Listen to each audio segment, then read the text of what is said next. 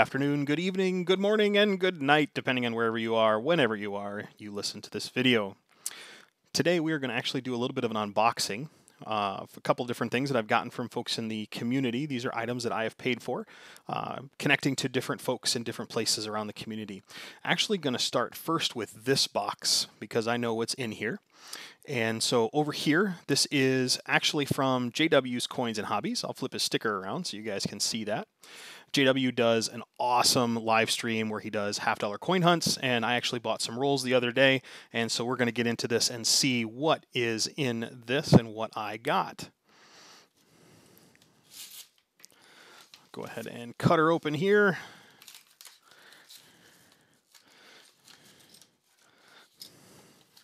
Oh, that's right.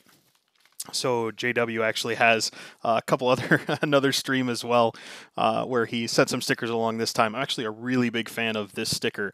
Uh, actually, even like it better than the Benji sticker. Uh, but this is from his JW Farms sticker uh, stream as well. So a couple things in here. Looks like I have some more opening to do. Uh, go ahead and crack this open real fast open these up and yes absolutely it's a whole bunch of silver.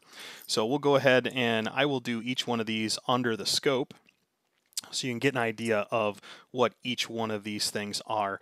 But it looks like I have a 67 40% Kennedy a 64 90% Kennedy.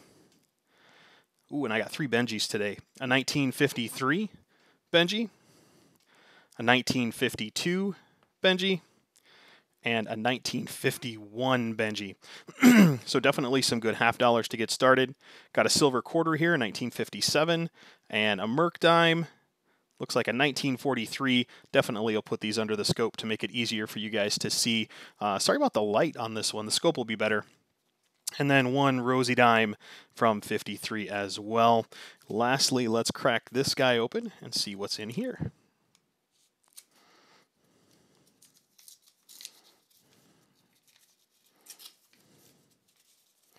Definitely appreciate your understanding as I'm just getting started with this. Uh, not always the best right out of the gate. Holy cow. Uh, definitely will continue to get better, so feel free to leave your constructive criticisms in the chat. Wow, wow, wow. So this one, I'm actually going to zoom in a little bit. Hopefully this shows up. That is a proof dime, silver proof, looks like a 2004. That is gorgeous looking.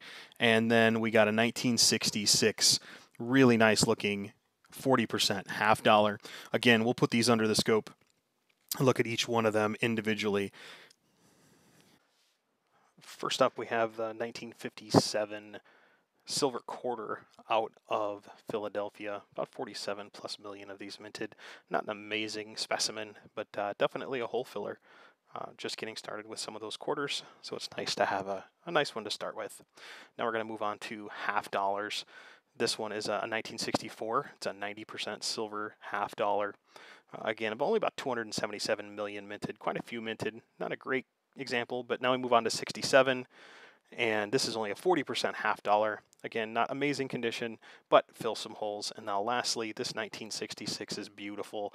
40% silver, Kennedy half dollar, obverse and the reverse are absolutely gorgeous. Very, very good looking coin here to add to the collection, that's for sure. Now we're moving on to those three Benjis. This is a 1953 Denver. Uh, again, a 90% half. A couple things about the Franklins, the Benjis, if you will. Um, you want to look for those full bell lines on that bell. Uh, these are pretty worn down, but again, these are hole fillers. Great to get started onto that 1952. Um, this one is also out of Denver. Good, another good looking half dollar for sure. And then lastly, we have the 1951. And now this 1951 is actually S minted half dollar. Um, so only about 13 million of these minted. Now, just because has an S doesn't mean it's a proof. Um, this happens to be a business strike out of San Francisco, um, but a nice looking coin for sure. And then my favorite by far is the Mercury dime. This is a 1945, very common Mercury dime, but a nice looking dime. Roosevelt dime, again, nothing special, but it's a nice looking dime to get started. Now this is an amazing dime. It's a 2004 silver S proof. Beautiful, beautiful dime. And there you have it. Nice little silver pouch. Silver group of silver finds from JW Coins and Hobbies. Definitely check out his channel. Link to his channel is going to be down in the description. Thank you as always. Now it's on to item number two. All right, I actually know what is in this box it is something that I purchased, something that I'm really excited to get open and get out of this box. This is from uh, another great guy in the coin community, goes by RINGIN Constitutional. I will put his email address down in the description of this as well. If you would like to get one of these, you can do so. I'm going to go ahead and try to crack open this box nice and safe like. We'll see how it goes. Got it pretty, pretty well packaged here. Always cut away from yourself, kids. Oh my goodness.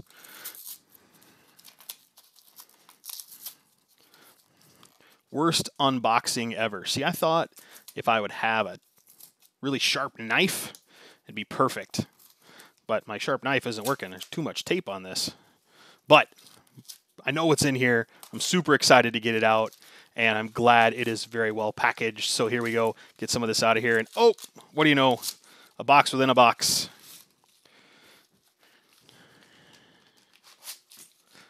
Plunk. Awesome. All right, box number two. And ooh, look at that. This looks very interesting. I'm actually going to be super careful because it looks like it is in a jewelry box.